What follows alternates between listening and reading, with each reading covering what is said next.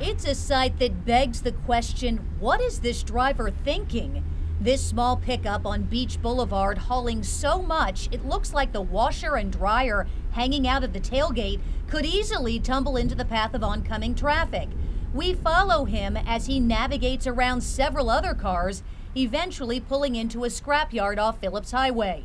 We are stunned to spot the same truck another day on Atlantic Boulevard.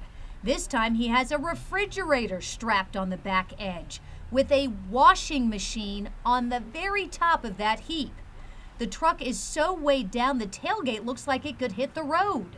The way it was strapped down uh, didn't look very secure. Kelvin Carthon says the same pickup nearly ran him off the road a different day in front of the Regency Square Mall. He recorded this video. When he would switch lanes, he would almost hit people. Someone's going to get hurt and a car's going to get damaged. And another day, our cameras were rolling when the same truck broke down off of Kernan Boulevard and was towed away by an SUV. We found the owner at home and again find the pickup overfilled. Ropes hardly seem sufficient enough to hold all these sharp pieces of metal. And look at the tailgate. It's being held in place by what looks like a thin piece of rope. We wanted some answers. Sir, I've noticed that you put a lot of stuff in the back of your car and it can be really, really dangerous if it falls out. Is there a reason that you, as you see here, I mean, it's hardly strapped, this, it looks like this tailgate's hardly in place. A mí no pick English, te más moment, te más guay. I white pick English.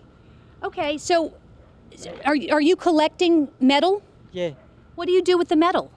No, pues es little, te, te, In broken English and with his wife translating through an upstairs window, this man says selling metal for scrap is his only source of income.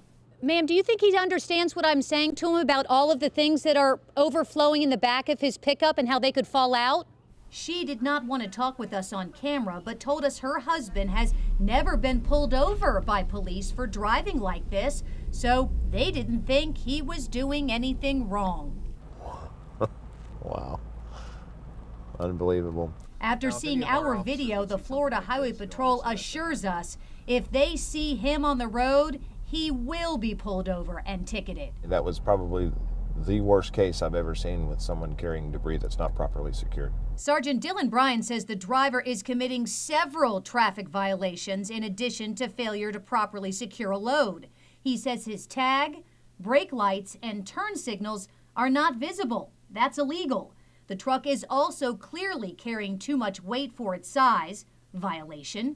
And since the driver can't see his blind spots, Bryan says he'd ticket him for careless driving, too. Oh my goodness. Unity Thornton is disgusted to see our video. She's still paying for damage she thinks was caused by a metal scrapper who dropped this AC cage in the middle of the Hart Bridge Expressway. There was actually a puncture hole right here in the middle where the bumper meets the fender. All of the black undercarriage was ripped off. It caused more than $2,600 damage to her car. She had to pay the $500 deductible, and her insurance went up from 124.41 a month to 185.92 a month. So it really is still costing me money. She considers herself fortunate she wasn't hurt. Carthon says if this driver isn't more careful, it's just a matter of time before someone does get hurt or worse.